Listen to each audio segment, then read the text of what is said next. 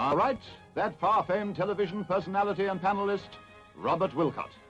I think if it is felt an inviting one that one has something to offer, then one should offer that something, whatever that something may happen to be. Constructive, calm, confident. The man whose name is a household word.